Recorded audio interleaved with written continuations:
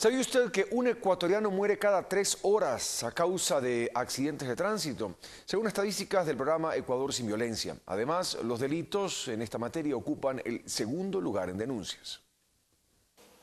La Fiscalía, el Ministerio del Interior, el de Educación y la Policía decidieron unir esfuerzos para frenar las alarmantes cifras que arrojan los accidentes de tránsito en Ecuador.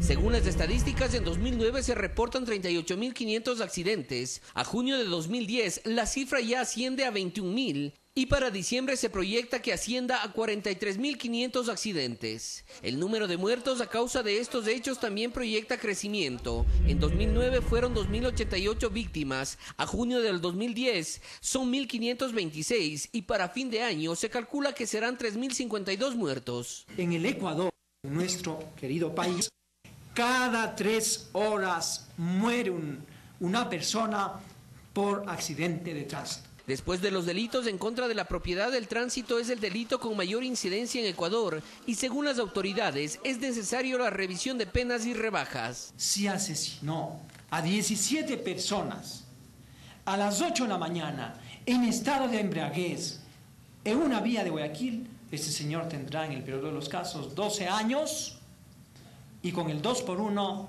saldrá a los 6 años. Un problema que junto a las víctimas deja millonarias pérdidas para el Estado. Se pierden 411 millones de dólares en daños materiales por accidentes de tránsito. Entre las infracciones más frecuentes está el exceso de velocidad, embriaguez, uso de celular y no utilizar casco en el caso de los motociclistas, para quienes desde fin de año se intensifica el control de su uso, al igual que un chaleco reflexivo y de identificación. En el transcurso del mes de diciembre se iniciarán ya los operativos de control. Esta información y las acciones preventivas se pretende socializar con más de 100.000 ciudadanos en 1.800 unidades de policía comunitaria como parte de la campaña Ecuador sin violencia. Gustavo Merino, Gama Noticias.